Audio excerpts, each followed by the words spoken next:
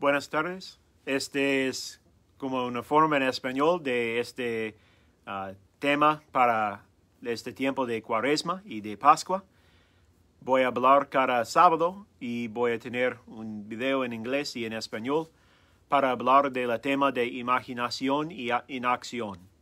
Para mí este significa usar nuestra imaginación para formar una visión del futuro, para darnos una inspiración para poner en acción un plan. Un plan especialmente después de, durante este tiempo de pandemia del año pasado y en la situación de hoy, que podemos pensar del futuro. Para hablar de las cosas básicas de nuestra fe, de las obras del cuaresma, oración, ayuno, uh, limosnas, para hablar del fe, esperanza y caridad, las virtudes teológicas, para hablar de la iglesia um, la antigua, y también para hablar del futuro. Hoy voy a hablar, so cada semana quiero hablar de una historia o una, algo, alguien, algo para nuestra imaginación. Y hoy quiero hablar del este, es del autor J.R.R. Tolkien él es muy famoso para, en inglés, Lord of the Rings o Señor de los Anillos.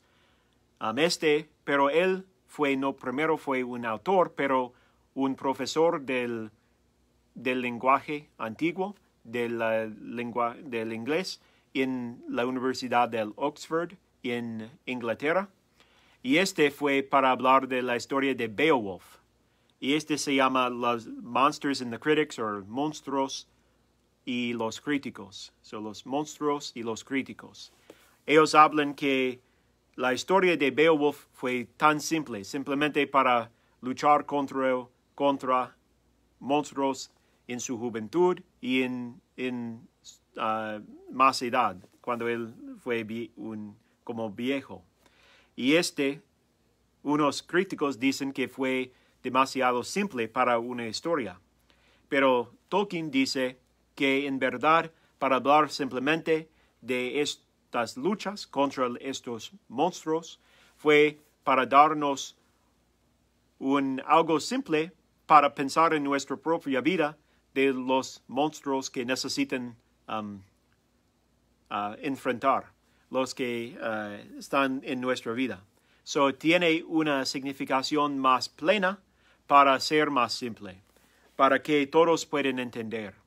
Y este es para él la manera para leer las historias, las leyendas y estas cosas, para ver en ellos una manera de expresar la verdad de la vida, pero de una forma, um, de una forma de una historia, pero no como una historia de como simplemente las cosas que han pasado en el mundo, pero para crear en nuestra imaginación un mundo en que podemos pensar de las verdades de esta vida, pero en como otro mundo.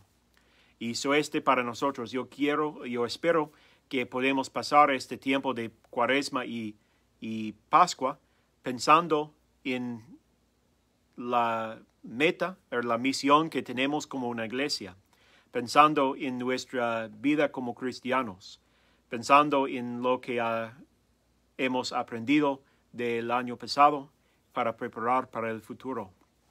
Vamos a rezar. En el nombre del Padre, y del Hijo, y del Espíritu Santo. Señor, gracias por el don de nuestra imaginación.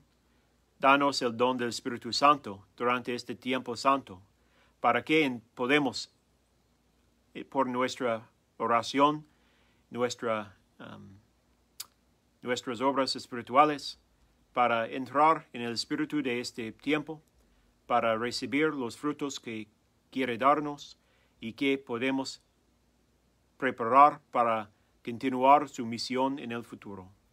Pidamos esto por la, en el nombre de Jesucristo, nuestro Señor. Amén. En el nombre del Padre, y del Hijo, y del Espíritu Santo. Amén.